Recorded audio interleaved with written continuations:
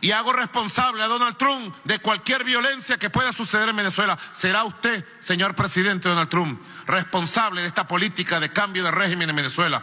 Y la sangre que pueda correr en Venezuela será sangre que estará en sus manos, presidente Donald Trump. La sangre será la sangre que estará en sus manos, presidente Donald Trump. Es usted el responsable que no de la cara.